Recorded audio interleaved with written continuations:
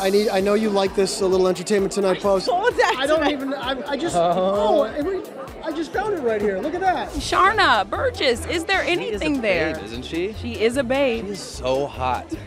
Oh my god, it's shocking. Are you confirming that there's a little something there? I mean, I have a crush on her for sure. I don't know if we're dating. Are, have you gone out on a date? Maybe? Who knows? He's so, funny. I saw him last night. You and, did? and he did, and he was very sweet. And very Yeah. yeah, yeah, he's a good man. He's a lovely guy. Uh, and I was congratulations to him for being nominated for an Emmy. That's super, super awesome. He's got great things ahead of him. I know you love when I do stuff like that, so I decided No, to Do I love it when you guys do that. It's so much fun. You're welcome. She's the most confident woman that I know, and I love that. And here's the thing she's like a down to earth chick who is, I mean, everything, the total package. Oh, completely. I wish I wish we were dating.